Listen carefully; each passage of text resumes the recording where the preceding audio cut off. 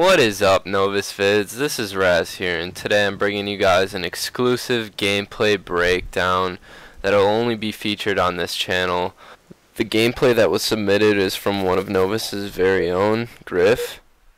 So yeah, let's get into it. Awkward silence for the load screen, you know.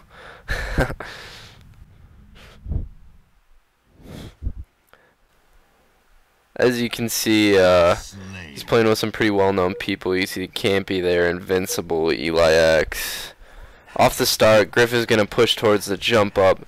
Um, I like this play. He's got a teammate pushing with him, and right here they're in a good position to push, and they take out, he throws some really nice nades and takes out the guy behind their uh, rock.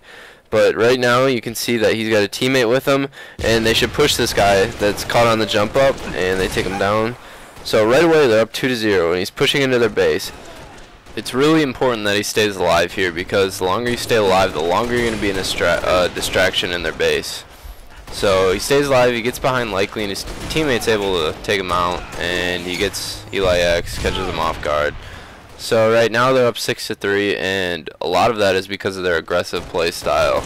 Um, off the spawn, he knows that his team's on rock side, their rock side, but he is weak, so he's going to hop into ring and he's going to wait for his shields. Oh, no, he's not going to wait for his shields. See, in a position like that where you only have shields and you know they're on, they just spawn sniper, you need to get your shields back before you even look because they will catch you off guard like that.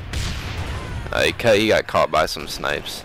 But he sees that Campy's pushed up in their snipe and he's going to push with them and they team shoot that guy and they get the good kill. So right now he just needs to stay alive and he's doing a really good job of that. Note right here is that him and Campy are doing bait and switches in the hut. Um, one of them will start shooting them and they'll just wait for the other teammate to come in and finish the kill. Uh, but he noticed that Campy died so he pushed back into ring which was a really smart play but unfortunately uh, there was a guy's jump up so he got taken out. One really important aspect of any game type on Sanctuary is that you need to make sure you're on the same side of the map as your team. I'm not talking about their base or your base, but really just um, if you're on your car side or their car side, you just need to make sure that you're on the same side because it makes team shooting a lot easier on this map. This is that his teammate's stuck in the rock, so he's going to push over to help him, and they he gets a nice kill on Invincible. So right now he's on, he's you can see he's on the side by himself. So, but Camo did just come up and he gets a nice kill on the guy. Bonfire pushes up, takes that guy out for the double. Backs off, which was a really smart play because he puts himself in a really good position. He's got Camo, he's got his teammates coming off spawn, and right now they're going to try and get him in a spawn trap. When you're one shot, I suggest not going down to bonfire because people do throw those nades and they will kill you. Especially when you're one shot. You got kind of lucky there. I like the sneaky beaver play going into the hut.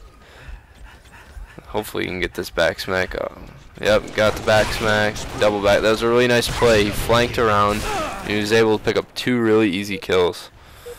Alright, so about halfway through the game, and blue team is being very aggressive. Red team hasn't set up on their side at all yet.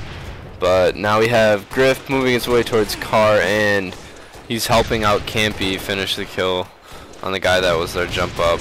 Put some good shots in the guy across the map, but unfortunately he was taken out.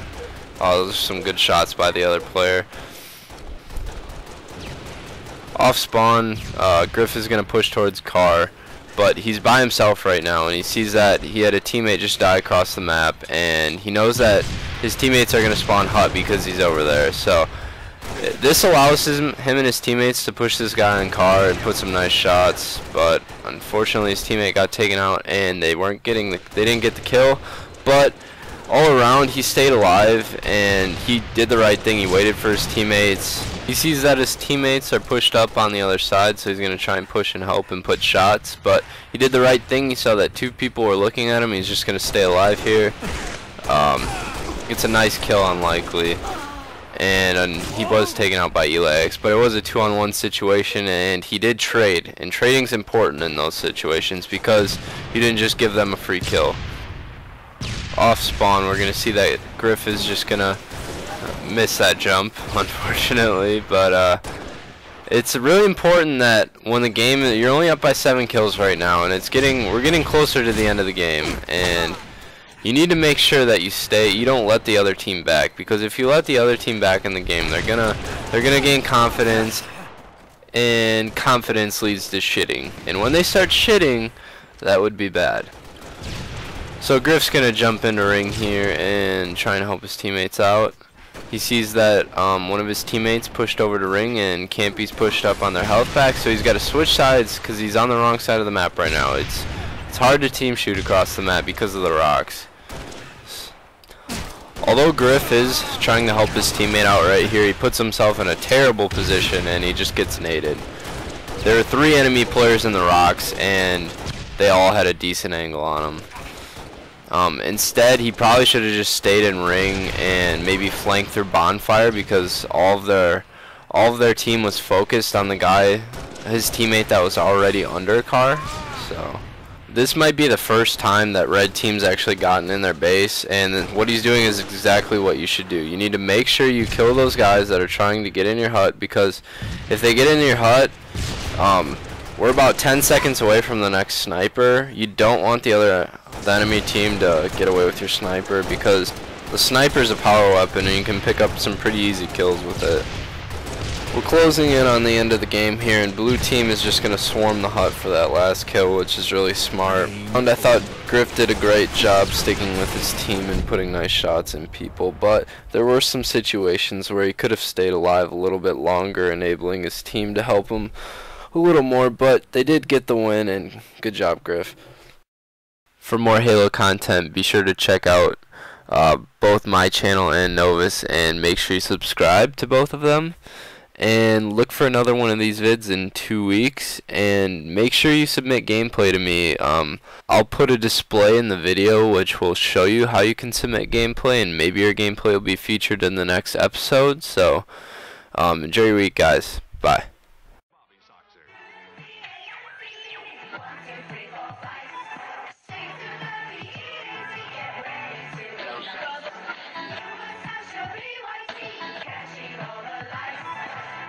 You have interfered with our affairs for the last time.